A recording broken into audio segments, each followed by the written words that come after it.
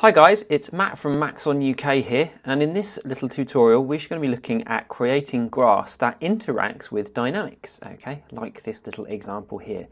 So as you can see, we've got um, a scene set up where the grass animates, uh, reacting to wind, and we also then have an external object that comes down and pushes that grass away. Okay, so this is what we're going to be doing in this little tutorial. So I'll just close my window. There you can see that I've got my scene set up um, from the one that I've just shown you. And if I just click render quickly, you can see that this is it. So we're going to be creating something like this in Cinema 4D. So I'm just going to go File and New so that you can see me set this up from the beginning. Uh, just adjust my camera a little bit. And then I'm going to create an object that we will put the grass on. Okay, and that object is a landscape object. Um, I'm using that because it creates some nice hills, okay, that will allow us to animate something rolling down and getting that nice grass flattening effect without having to animate anything ourselves or keyframe anything. So in a previous tutorial, I have created grass using the uh, grass grow grass plugin uh, tag that we have in Cinema 4D. With this one, however, I'm going to be using something called hair. Okay, so under simulate, okay, we've got hair objects. I'm going to add hair. Now, instantly, wow, that creates an awful lot of hair. That will go all over that object. Okay, um, this is really useful because it will allow us to use dynamics to affect each of these little points. That's what Dynamics actually does. It affects these hair tips, okay? And if I just click render for the moment, okay, you can see that we've got a very, very basic hair setup. Okay, there are actually far more hair guides than there are hairs at the moment. So we're going to need to change that quite a bit. The first thing I'm going to do is change the color. Okay, so we're going to want some form of nice green. Okay, you want a darker green to start with, and then it fades into a lighter green. Okay, so if I just click change that and that, okay, and then click render, you can see that we get a much better sort of looking grass color. Um, obviously the amount that is there will need to change quite dramatically. So under the hair tag, and we look at the hairs, we've only got 5,000. Okay, normally I go somewhere between 65,000, 70, depending what it is that you're going to do. Um, let's say 70,000 for this instance. And now if I render,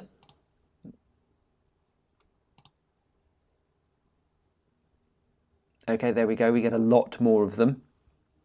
Okay, which will hopefully give us a bit better um, coverage in a minute.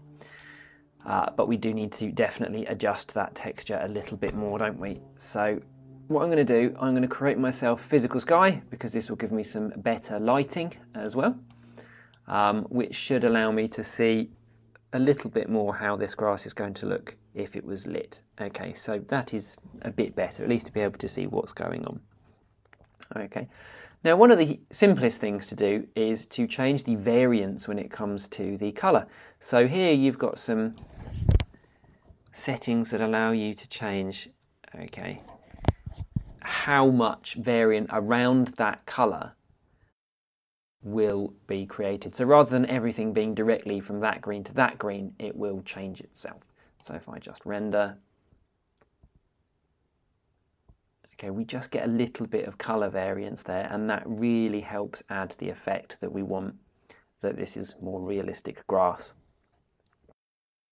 It's a tad shiny at the moment, okay, because it's trying to simulate hair. So I'm just going to lower that quite dramatically at the moment to say about 25%. Okay, maybe only sort of about 20. Okay, and I'm going to do that for the secondary as well. A quick re-render.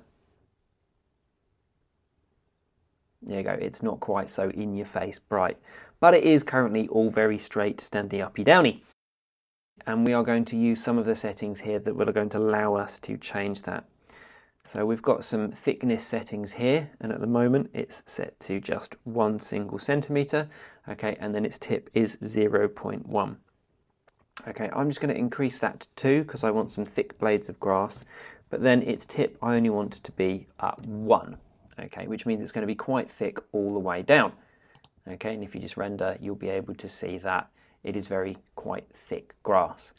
Now, one thing you can do is you can change that with this curve. Okay, this will allow it to go between the two.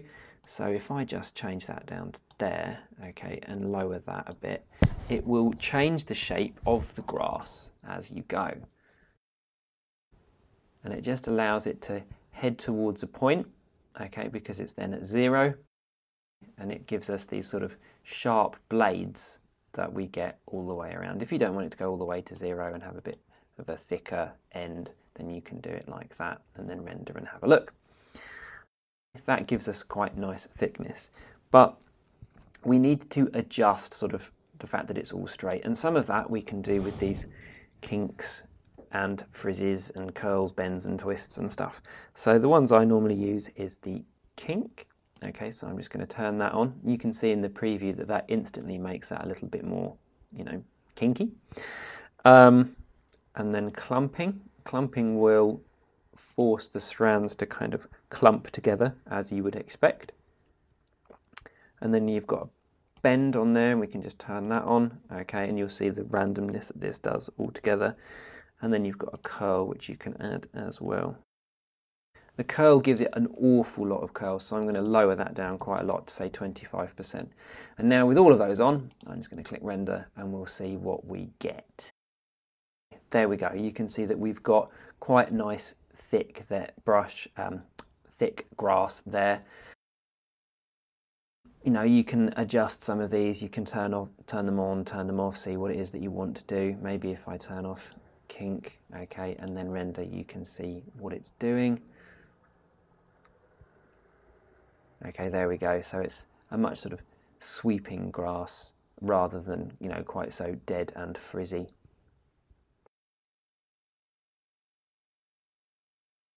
So that gives us a nice effect. Now, the moment I press play, all of the grass sort of flops down to the ground and it all sort of loses its integrity. And that's because of the way the grass is designed to work, you know, working as hair, it's floppy. So what we need to do is we need to adjust its settings. So if I go back to the hair and then we have its dynamics forces. Okay, under its properties, we've got a rest hold percentage. This will determine how much it holds at its rest position. So if I say about 50%, okay, it will stay roughly around there. Now if I go back to the beginning and press play, you can see that it starts to bounce a little bit. And that's it kind of keeping where it needs to be.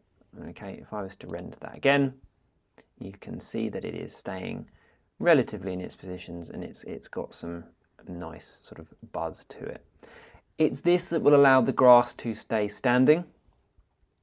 Okay, we can see that it's all sort of moving in one direction at the moment. That's all down to the hair material there. So maybe we need to add a little bit of variance when it comes to the clumping or the bending and the twisting and stuff like that. So 50% variation. So maybe now if we render that and have a look, okay, it's a little bit better. Um, curling, okay, there we go, and then say 50%. Here we go. There you go. Quite a grassy smattering there. Um, gives a nice effect of a nice thick green grass sort of area. Awesome. Okay, cool. Now we need to get it to be affected by wind. Now, with hair, there is a dynamics and then there's forces and things like that. So it is dynamics enabled, which means one of the easiest things to do to get it to move is to go to our simulations part, look at particles and go to turbulence. And this turbulence will affect the wind, okay, once we tell it to. So going to the hair tag, hair object, sorry, and then, okay, under the forces area, we have forces to include, okay, or at this moment exclude. So we are going to want to drag and drop the turbulence into the forces and then include it. Okay, and that means now that this will be affected by that turbulence.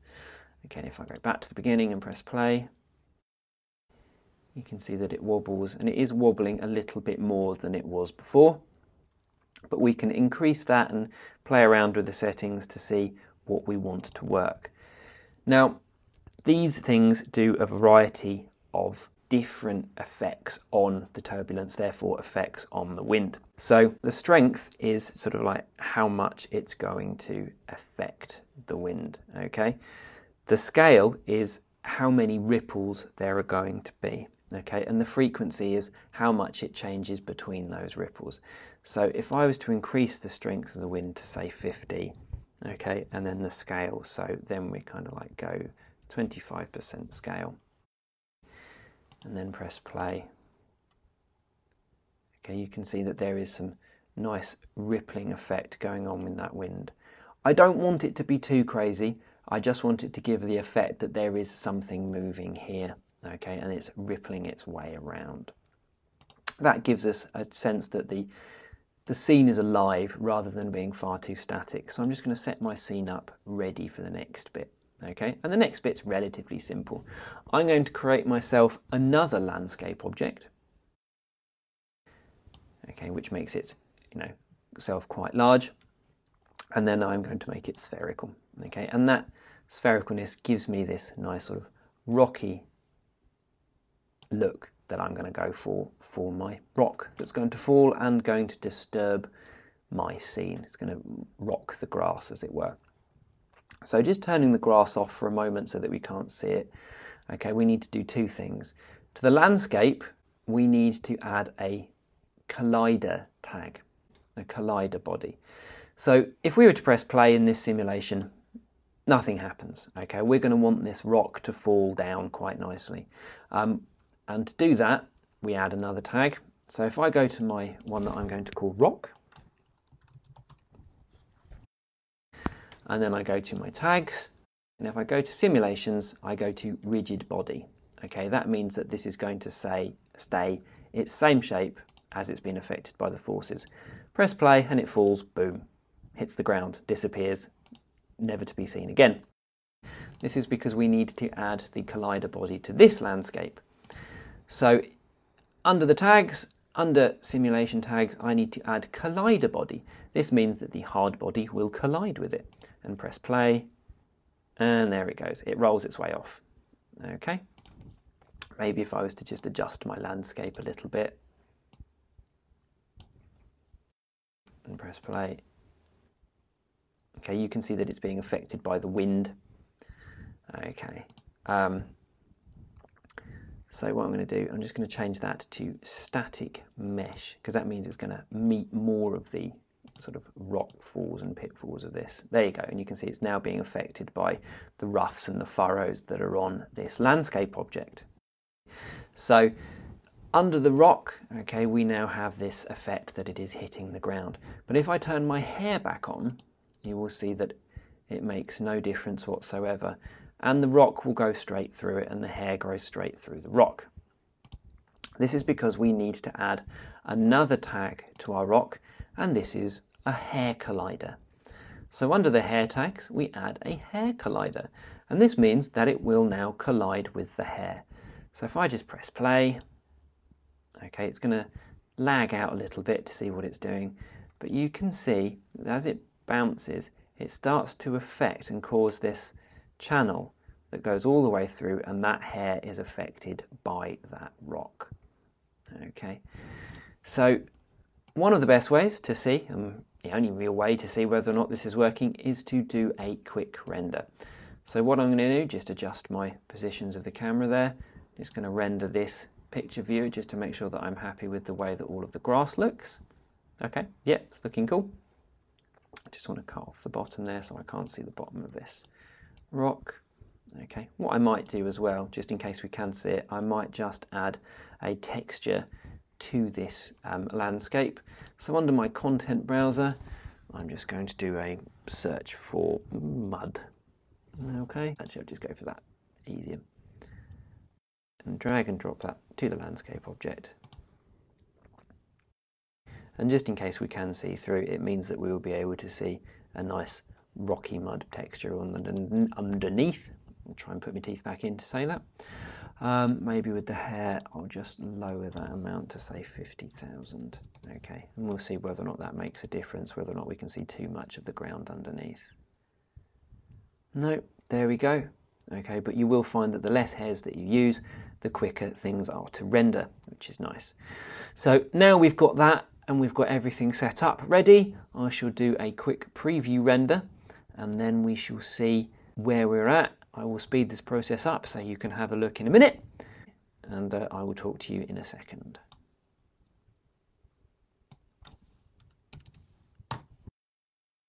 Okay, cool. So let's just have a little look. It's going to take a couple of playthroughs for it to store all of its stuff. Hey, there you go. This looks like a hidden rabbit. So you can see that instantly we've got a little rock that falls through and has its effect. It's being affected by the ground, so it's following all of that uh, terrain and it is moving that grass as well. So the implications of this, you know, if you've got something that needs to move grass out of the way, if you've got some form of tag that you can add to an object, you know, and you know how to do this, you need, need to know how to use all of this dynamics and how to use the tags and the, the, hair colliders and things. I hope this has been a useful tutorial for you guys to have um, followed and um, that you put it to some good use. So take care and I will catch you next time.